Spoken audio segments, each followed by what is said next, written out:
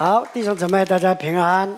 好，啊，今天早晨我要跟大家分享的题目啊是圣灵的恩典。那么有关圣灵这件事，其实是非常重要，但是呢，这个当中啊，其实有很多很多的故事。啊，我们的弟兄姊妹啊，有很多都是在福气教会受洗的。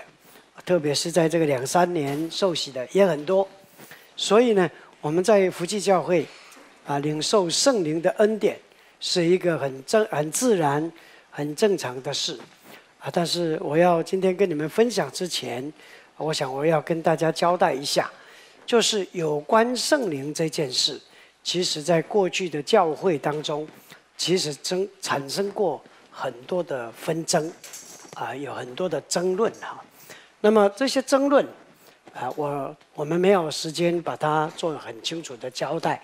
那么我会把它等一下跟大家讲讲一下，就是一个概括的一个情况啊。就是有关圣灵的这件事，啊，大部分我们可以分成两个领域，就是有一个部分是非常追求圣灵的恩典，追求圣灵的充满。那么一般。我们会把它称作这个叫做连恩派。那么另外还有就是很传统的，啊比较保守的。那么这些教会，他们在有关圣灵的真理的这个方面，当然没有问题，啊是很扎实的。可是对于怎么样去领受圣灵的恩典、圣灵充满的这一块，是比较保守的，啊或者是比较有一点排斥的。当然，就感谢主，这个一二十年来，有很多的教会，在比较传统的这个方面，慢慢的对圣灵有一些的开放。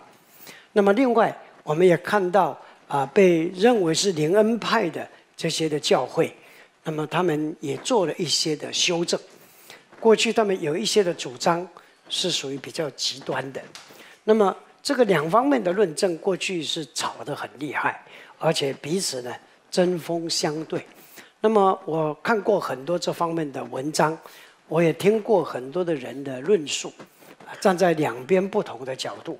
不过呢，我到最后发现呢，大部分呢，啊，不能说全部，但是很多都是情绪性的。也就是说，到最后这件事，其实大家并不是那么理性的，好好的，真的是从真理里面。来谈探讨。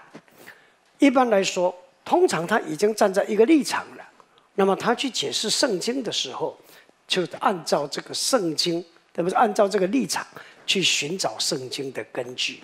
那这个当然再怎么讲啊，两方面都不可能服对方哈。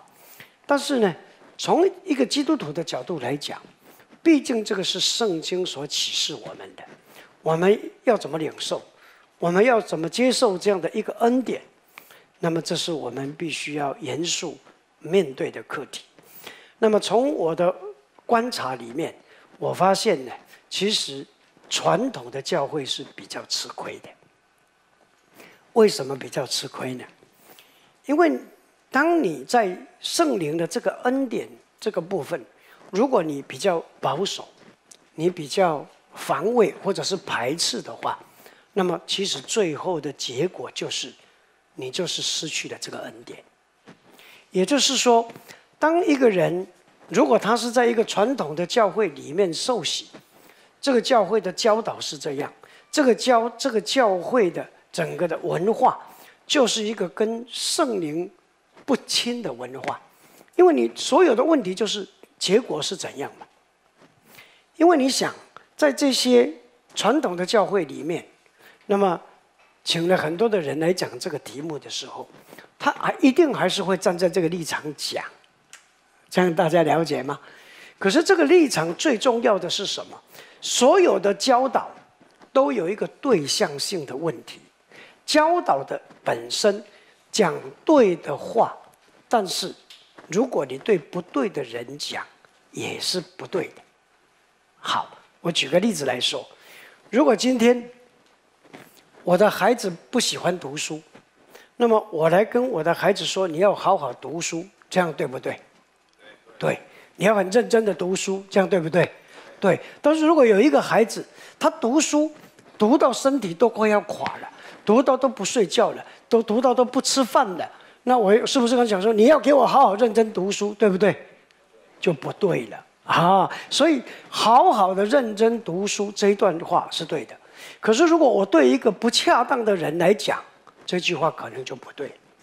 那么如果我我我对这个这个孩子说，哦，读书是很重要的，可是身体还是根本呐，你要有还是先照顾好身体，还有后面的嘛，对不对？我是不是要这样教他？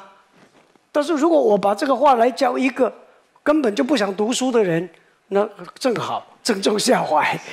所以你看，我们今天的问题就是在这里，对一个传统的教会来讲。他应该接受的教导是什么？是对圣灵更开放、更敞开，他才能够得到这个恩典。所以我们不要不是说你以为你讲的话对了，就乱讲，通通叫做对，那可不一定。那么今天呢，我想跟大家，我们就从圣经的角度跟大家一起来分享。那么到底圣灵的恩典是什么？啊，我我想我要先跟大家谈到的是有关圣灵的应许是什么。那我们将我想跟大家一起来读两段的圣经。好，我们现在看旧约约珥书第二章二十八到三十二节。来，以后以后我要将我的灵浇灌凡有血气的，你们的儿女要说预言，你们的老年人要做异象，少年人要见异象。在那些日子，我要将我的灵浇灌在我的仆人和使女，在天上地下，我要显出奇事，有血有火有烟柱，日头要变为黑暗，月亮要变为血，这都在耶和华大而可畏的日子未到以前。到时候，凡求告耶和华名的，就必得救，因为照耶和华所说的，在锡安山。耶和住撒冷必有逃脱的人，在剩下的人中必有耶和华所造的。这个就是要告诉我们在旧约有关圣灵要降临这件事，已经早有预言。那么在旧约里面，凡是旧约预言的事情，到新约就必要应验。所以有一些已经应验了，那么有一些关乎末世的，现在还没有应验。但是一定会应验。那么有关这个圣灵要降临在我们的身上，那么这个是在旧约就预言的。那为什么旧约要预言呢？为什么要旧约的预言在新约来应验呢？这表示上帝要做这件事重要不重要？重要，重要啊！比如说旧约预言耶稣基督要降生，有没有先预言？哦，耶稣基督要被钉十字架，有没有预言？有。所以呢，这些事都在旧约已经预言。它其实是在告诉我们什么？这个是上帝一贯的心意，这是在上帝的命定，在他的规划里面必然要发生的事，这是很重要的。那么这一段的预言，一直到新约的时候，那我看我们看。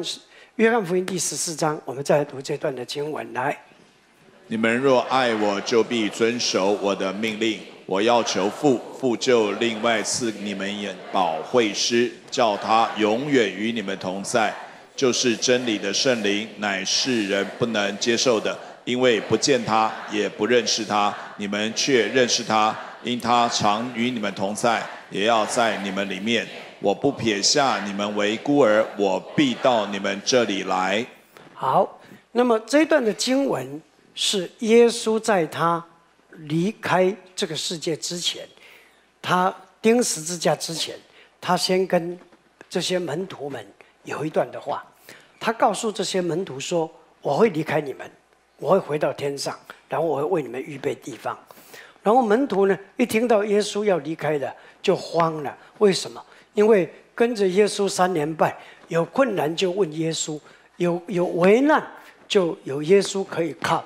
你还记得吗？他们在船上，哇，大风浪快要淹死了。耶稣在船上就喝令，风和雨怎么样停息了。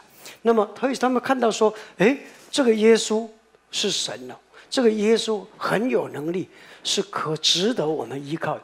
那现在耶稣，我们的老师要离开了，要回到天上，那我们可怎么好呢？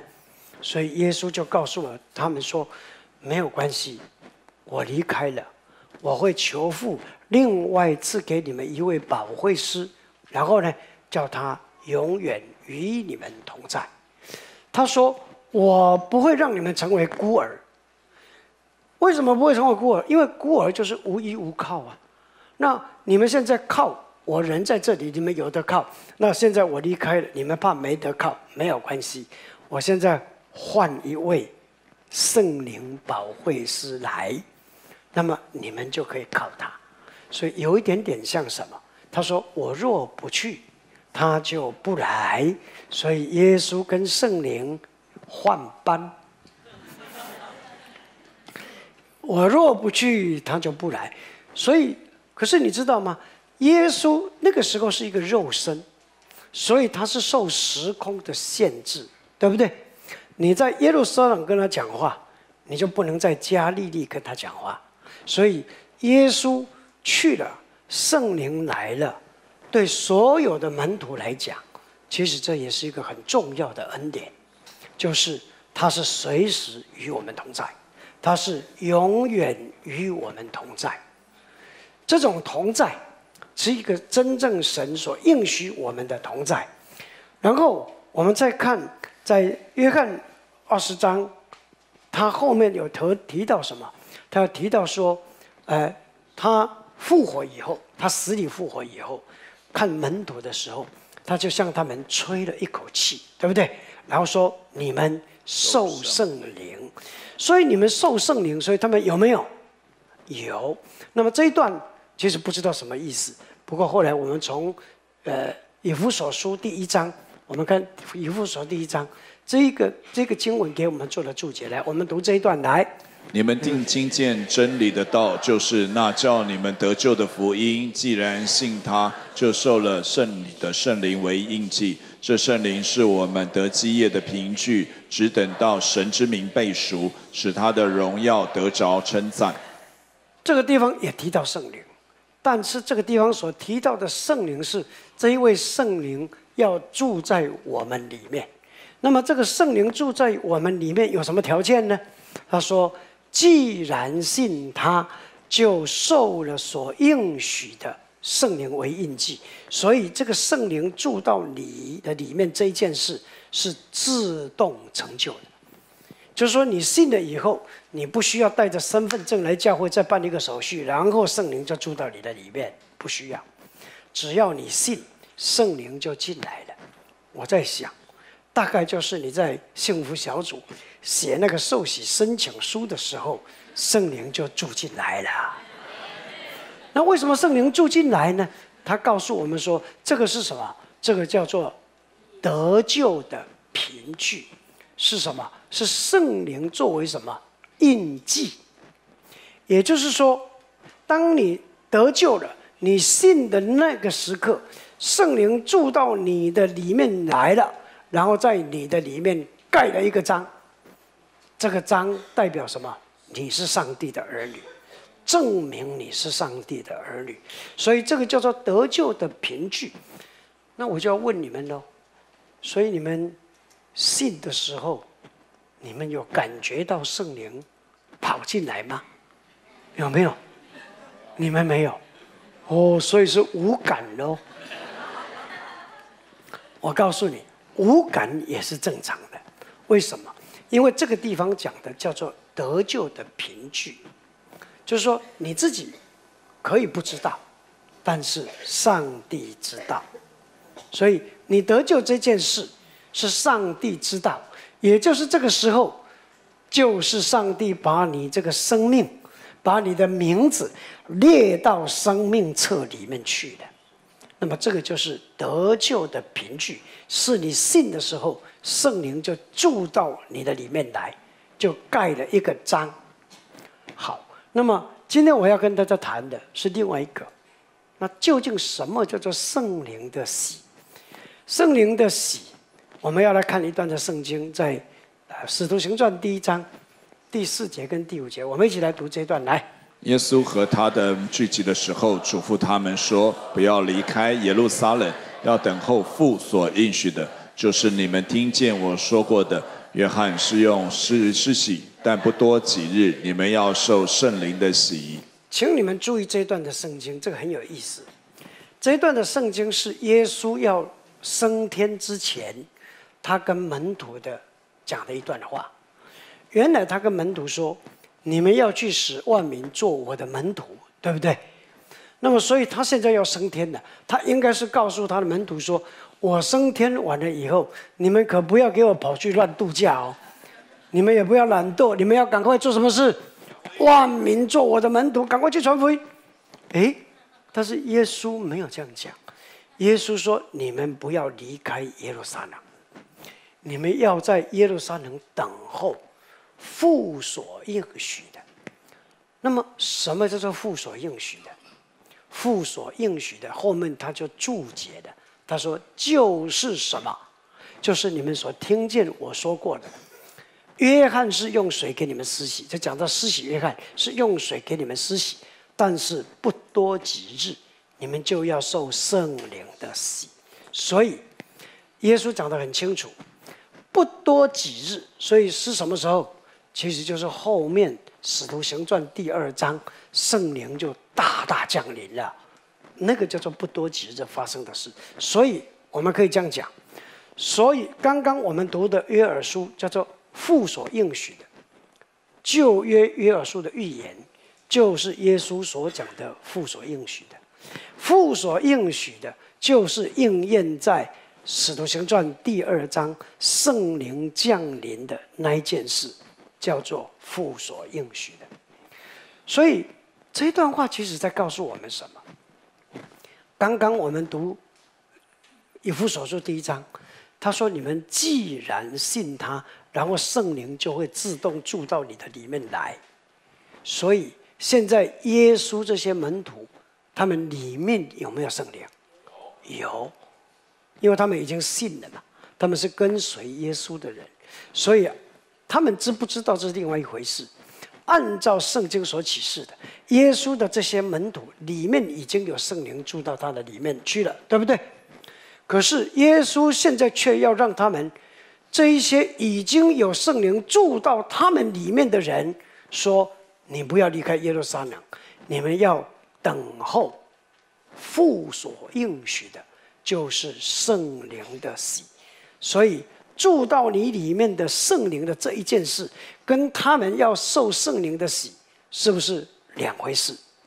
这样你明白了吧？啊，这这是两个不同的事。我们从耶稣所讲的话，就可以清清楚楚的看到，这个是应验在使徒行传第二章第一节跟第四节。那么这一个经文的应验，跟内住的圣灵是不一样的，所以。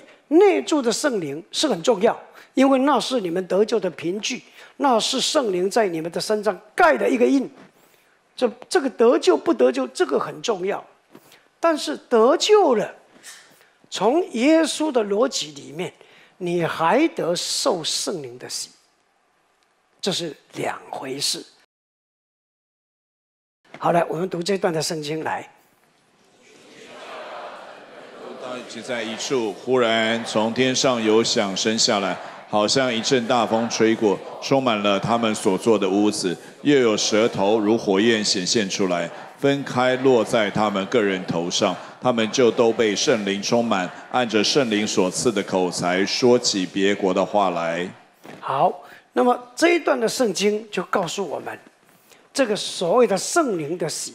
就是圣灵降临下来了，但你看这个圣灵降临下来以后发生什么事？就是好像一阵大风吹过，充满了他们所住的屋子。所以大风吹过不是微风徐来，有什么不同？强烈，就是有感受。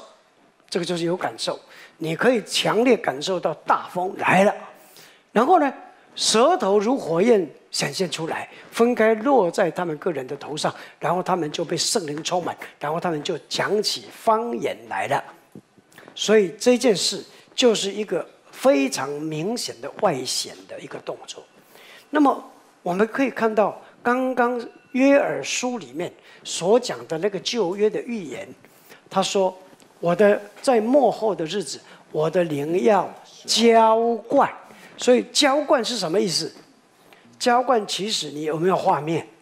哦，那个下大雨的时候有没有？那个就好像浇灌一样，这是一个很强烈的动词的用法，所以你可以感受得到，哇，那个浇灌其实是一个非常有感受的，它它不是来无影去无踪的，不是这种的，是一种强烈，让你有一个很清楚的感受，就是这些人他们领受了以后，从圣经看了，因为旁边的人呢就觉得说，哎呦。你们怎么好像喝醉酒一样？因为他们大概被圣灵充满的时候，大概就站立不住了哈，就飘啊飘这样子哈。所以旁边的人说：“你们是不是喝就喝醉酒了？”然后你就发现下一段的经文说：“彼得就站立起来。”好，彼得跟十一个使徒站立起来，其实是不是只有彼得一个人讲话？是是。那么只有彼得一个人讲话，为什么其他十十一个人也要一起站立起来呢？是不是坐久了腿腿会麻呢？不是，因为这十一个人跟彼得他们凑起来，刚好代表什么？代表耶稣拣选的十二个门徒，所以他们站立起来，站立起来，高声说：“这个叫做什么？宣告，就是他们一个正式的宣告。因为这十二个人站起来，他说：他说什么话？”他说：“这他在宣告什么？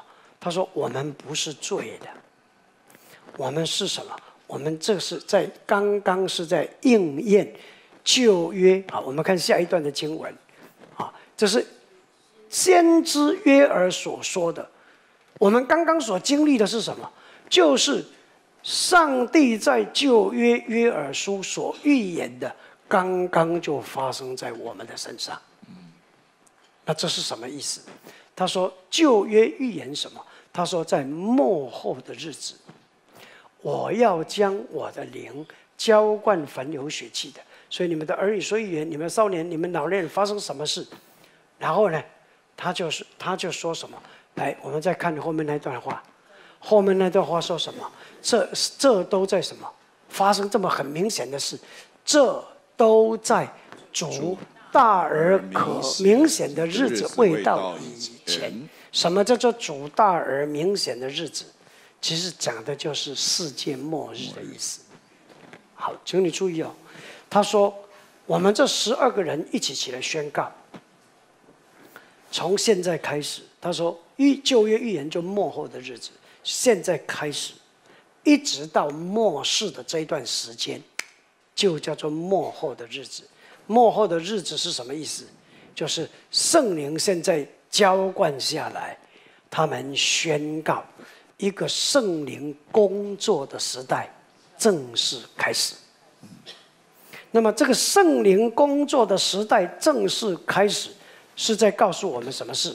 他说，在这一段时间，就到那时候，凡求告主名的，就必得救。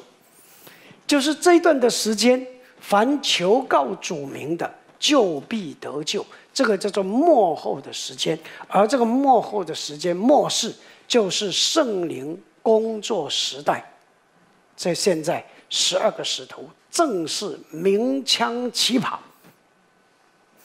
所以他在告诉我们，为什么这个预言是很重要，因为他在宣告一个圣灵工作时代的开始。然后从这个时候开始，你再去读《使徒行传》，他就讲得很清楚。比方说，在这个当中，他们很多时候被圣灵充满，在传福音，特别是在传福音的时候。然后呢，你看《使徒行传》第十三章，他记载保罗跟他教会的这些同工在祷告的时候，那么圣灵就跟他们讲话。圣灵说：“你们要为我组一个布道团，开始去传福音。”所以，你可以看到旧约约尔斯预言的，然后来到使徒行传第一章，耶稣也预言，而耶稣预言说不多几日，然后这个预言应验在使徒行传第二章第一节到第四节，所以这一件事情从预言到耶稣亲口在证实，到最后应验在门徒的身上，你就可以看到这一件事情在上帝的心目中是多么重要。那他为什么要做这件事？那么这个圣灵的降临到底对我们会有什么影响？你看门徒就知道。刚刚说门徒跟随耶稣三年半，他们听到的是第一手的教训，对不对？对。耶稣就亲口向他们讲话，他们有问题啊，不需要等到我们晚上回去才祷告，当场就可以问耶稣：“主啊，这个是怎么样？”可是你知道，他们就算接受第一手的这种教导，耶稣讲的话，他们懂不懂？母萨萨，他们常常说：“主啊，你这个话甚难，谁能听懂呢？”他们有没有软弱？有没有？有。啊，门徒之间会不会吵架？会。会不会争？会不会争权夺利呢？会。啊，什么事情都发生了。哎，这就很奇怪了。耶稣第一手，全世界人口这么多，也不过挑十二个，搞了一个来出卖他的，另外十一个也不怎么像样。可是很奇怪，当圣灵这个时候充满下来，这个叫做什么？这个叫做圣灵的喜，这是耶稣讲的，对不对？所以他们要经历圣灵的喜。当他们经历这个圣灵的喜的时候，你就发现这些门徒就完全不一样了。从现在开始，这段话讲完了以后，彼得马上讲一篇道，然后当场人很多，啊，他们三千个人就觉知信主，然后耶路撒冷的教会就成立了，然后这些门徒不是只有彼得一个人了，他们开始去传福音，就充满了圣灵的能力，就充满了上帝的能力，他们一宣告。神的福音，很多的人就相信，很多的人就进到教会了。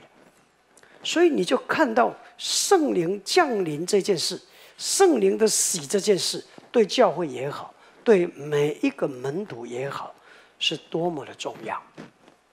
所以，什么叫做圣灵的喜？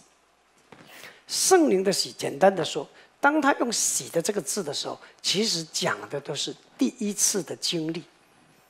就是原来，他们耶稣跟他们讲，圣我我走了，圣灵就会来了。其实他们懂不懂？其实他们不是很了解。对他们来说，圣灵只是一个概念而已。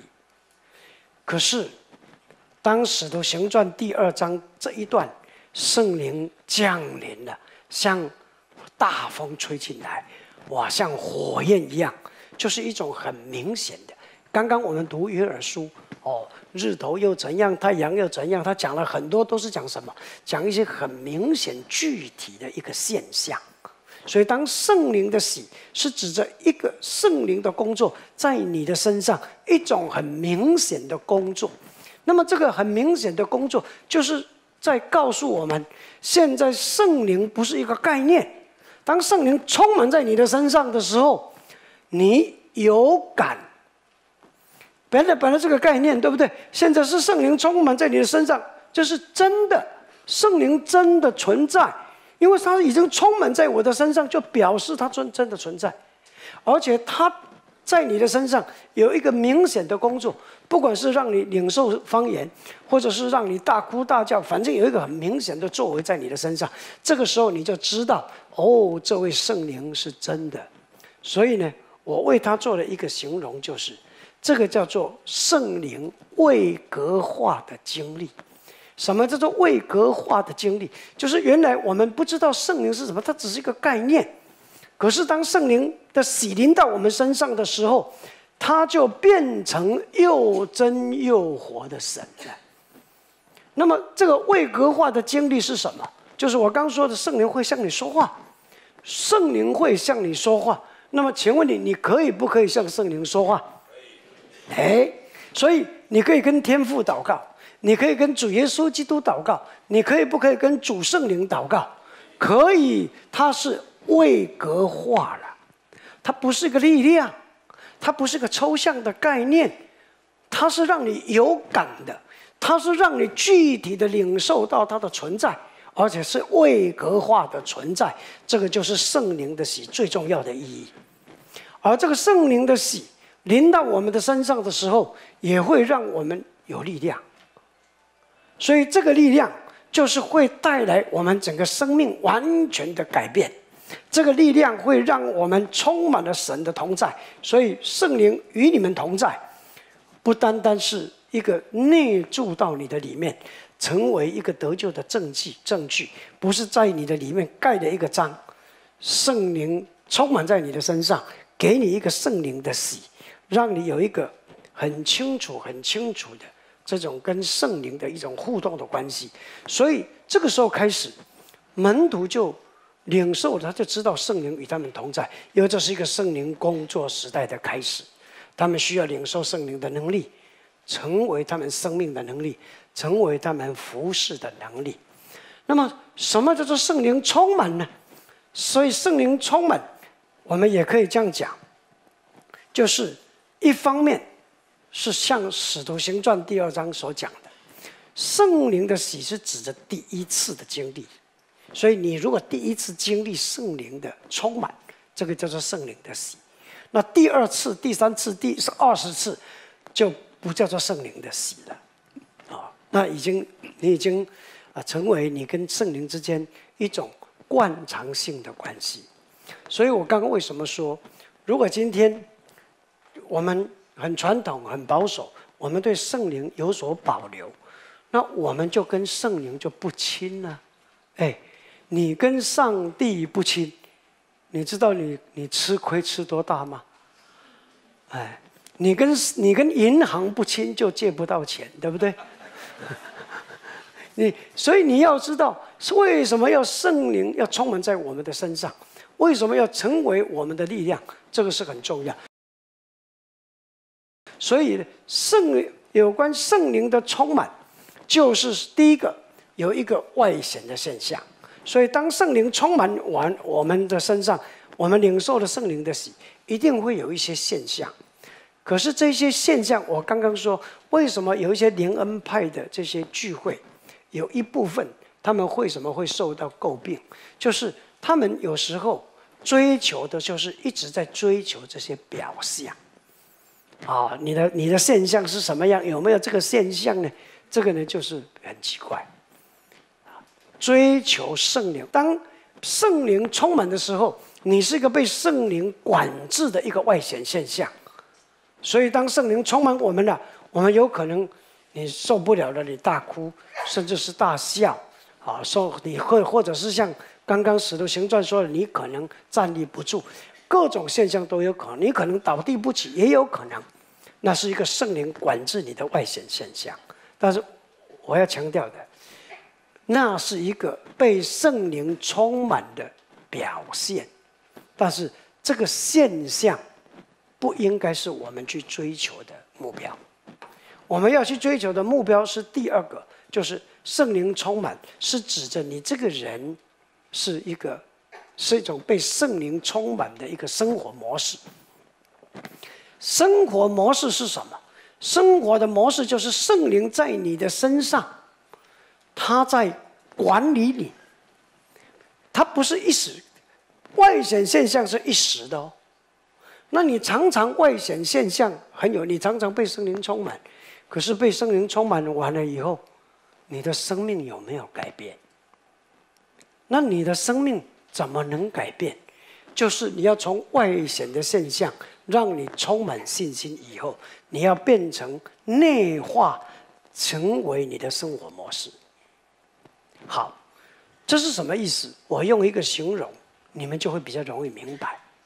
圣灵充满的生活模式，简单的说，就是圣灵在你的身上股份有多少。股份是什么意思？就是好像一家公司，这一家公司如果有一个股东，他的股份占绝大部分，那是什么意思？就是掌握主导权呢。所以这家公司要投资什么，要决策什么，要不要问一下大股东的意思？要不要？那大股东大股东如果说不可以做，那能不能做？就不能做。所以大股东就掌握了主导权。所以啊，圣灵充满，其实是在告诉你，圣灵在你的身上的股份有多少。所以，如果圣灵在你的身上股份是百分之二十，那么圣灵可以不可以影响你？你叫做偏行己路，因为因为圣灵的股份一点点，你可以不甩它，你仍然照你要做的去做，照你想的去做，所以圣灵在你的身上的股份少，你就不可能被圣灵管制，你的生活模式就是偏行己路、放纵私欲的生活模式。可是，当圣灵在你的身上股份占大部分的时候，你这个人就会过一个被圣灵引导、被圣灵管制的生活。比方说，我很想骂人呢，我要问一下圣灵说：“哎，圣灵，这个可以骂吗？”圣灵说：“不行。”那你就闭嘴。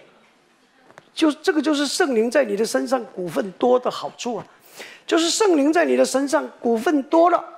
占绝大部分了，他管理你的思想，他管理你的行为，他管理你整个的生活模式。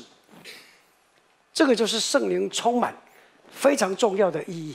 所以呢，当一个人，当我们说我们在追求圣灵充满的时候，我们其实是在追求什么？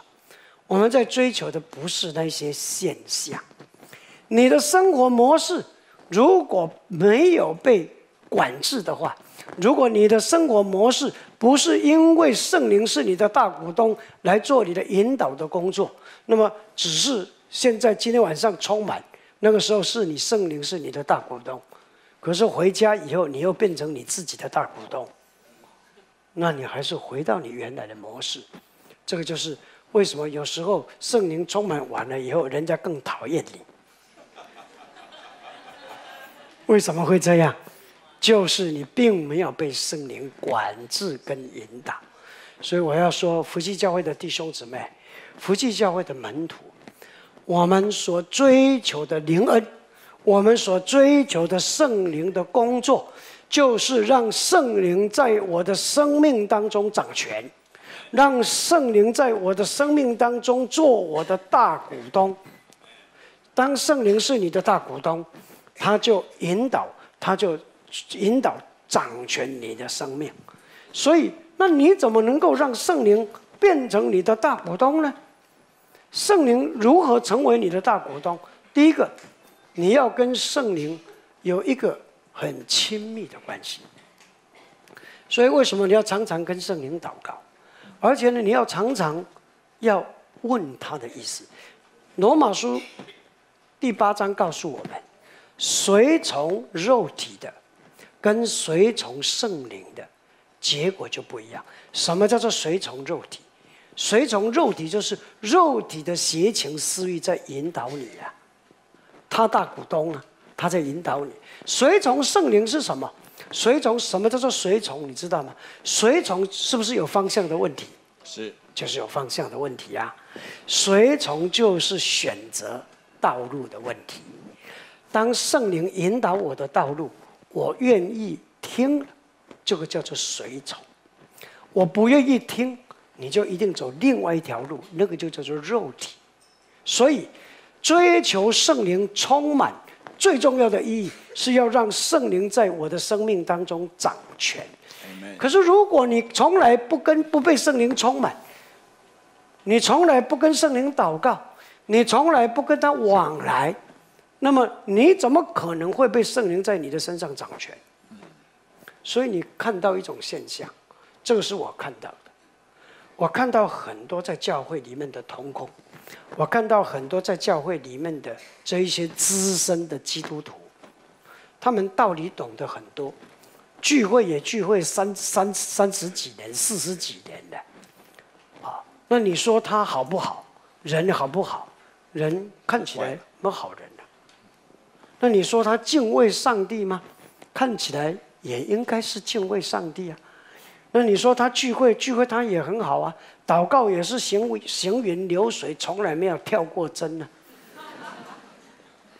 可是呢，他就不被圣灵充满，他不愿意追求圣灵，所以你就看到这种基督徒，这种这种老基督徒，他的生命是一种钉的生命，你就可以看到他这个信仰是用他的意志力在撑的。那就很辛苦了。那这样的人会不会很很很有自尊心呢？很有自卑心呢？还会不会还会不会很有尊严呢？会不会咩咩嘎嘎？会不会很多？这个最重要的原因是什么？没有被圣灵充满。当圣灵充满在我们的身上，它是一种流畅，你知道吗？那种生命是一种行云流水的生命。因为你不是靠你的生，不是靠你的意志力在撑，是让圣灵的引导，让圣灵的掌权，在管理你的生命。这就是一个圣灵充满最重要的意义，也是圣灵充满所要带来的结果。所以呢，我们要常常祷告圣灵。那么不单单祷告圣灵哦，你要让圣灵来向你说话，你要让圣灵来向你发令。就是这个圣灵，那你说没有啊？他说我祷告，但是圣灵都没有引导啊。我告诉各位，这不是说你从来不跟圣灵祷告，然后呢，今天晚上你祷告了，圣灵就一定要随传随到。圣灵是你的主，所以是你听他的，不是你跟圣灵发号施令。这个，请你记得。所以呢，我们要我们要跟圣灵有一个好的关系。你要敬畏他，你要亲近他，你要常常跟他祷告。但是有一件最重要的，就是你因为圣灵常常会是向我们的心的讲话，所以你的心要预备好，你的心领受了，你就要顺服。圣灵的工作不是没有工作，圣灵的工作是因为圣经在说你不要消灭圣灵的感动。哎，这句话什么意思？这一句话表示圣灵会不会感动你？会，不是圣灵没有感动你，是被你消灭了。那你消灭他一次，你消灭他两次以后，你就没有感觉了。不是圣灵没有感动你。是你已经迟钝圣灵的感动了，因为你已经不在乎圣灵的感动。可是，如果今天圣灵给你一个感动，哎，他提醒你，你敏锐了，你不做了，那这个叫做顺服，对不对？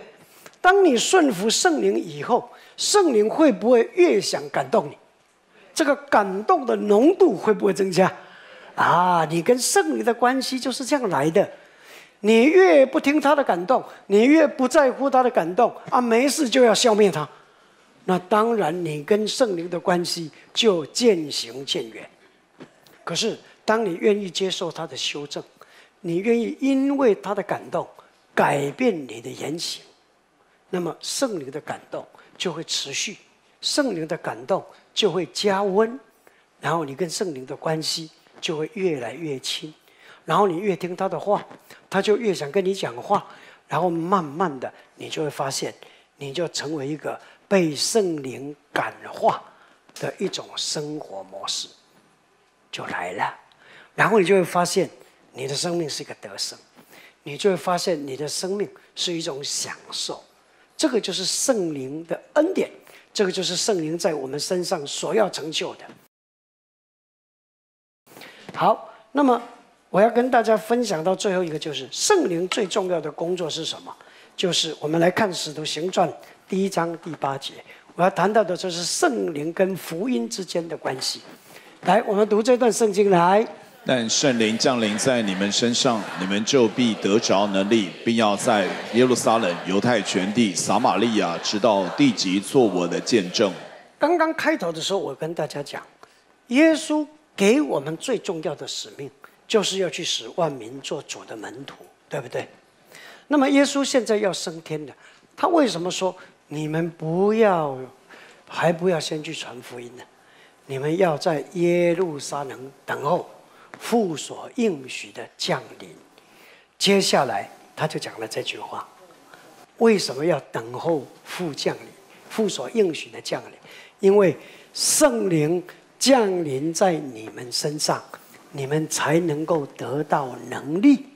你们有了这个能力，你才有办法到地级做我的见证。为什么做主的见证是需要被圣灵充满？什么叫做见证？见证的意思是什么？见证真正的意思不是单单说哦，我走起来讲一个呃，上帝在我身上见证，这个是这个是见证，但是见证的意涵不是单单这样。见证是什么？就是让人看到，对不对？那让人看到是看到什么东西？是荣耀还是不堪？啊，所以见证的意思叫做能看，就是能看的。见证的意思就是经得起看。可是看完了以后是什么？看完了以后你好伟大，拍拍手，那个不是见证。他说做谁的见证？做主的见证，所以是什么意思？就是当人看见你的时候，他是把荣耀归给主；当人看见你的时候，他很想要了解你所信的上帝，他对他好奇了，因为你的见证，因为看见你，所以见证叫做能看，要经得起看。那这是什么？叫做生命的荣耀。为什么你生命会有荣耀？因为圣灵降临在你的身上，你就会有一种生命的能力。你就会有一种生命的能力。你的生命能力是因为圣灵降临来的，因为你要去做主的见证，所以主要在你的身上，在你的身上做奇妙的工作，让你的生命是可以看的，让你的生命是经得起看的。那么圣灵降临在你们的身上，会产生第二个能力，叫做什么？布道的能力，就是福音的能力。所以圣灵的能力就是福音的能力。圣灵的能力，这个圣灵的充满，最重要所要带来的结果，其实就是福音能力的结果。你的生命是一个荣耀的生命，你的生命是一个经得起看、能够看、可以见证上帝荣耀的生命。最重要的还是回归到福音的能力。所以，各位亲爱的弟兄姊妹，我们为什么在我们的全新营里面？你还记得吗？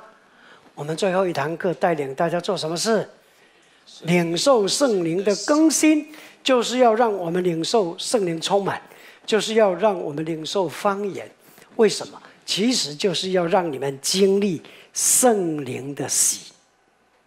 让你们第一次经历圣灵充满在你们的身上，让你们经历圣灵从概念成为又真又活的神。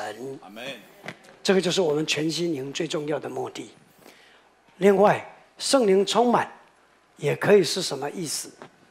圣灵充满也可以，因为圣灵充满就是圣灵降临在你的身上。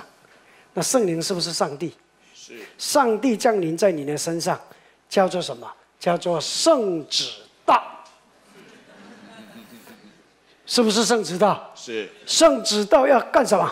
接旨。要跪下来，对不对？要接旨，对不对？接完旨以后呢？照着做。啊，如果抗命怎么样？斩。砍头。不得了，感谢主，摸一下还在不在头上？哦，感谢主，为什么？因为我们都是听主命令的人，对不对？阿门。我们都是被圣灵充满，领受圣灵的感动，并且顺服圣灵的感动的门徒。然后主的恩典，圣灵的恩典，每一天都与我们同在。来，我们低头祷告，亲爱的主，我们感谢赞美你，谢谢主，真是应许。把圣灵，你这一位主上帝赏赐给我们，在我们的生命当中，成为我们生命的力量，成为我们传福音的力量。再一次向你献上极大的感恩，谢谢我的主，听我们的祷告，奉耶稣基督的名，阿门。哈利路亚。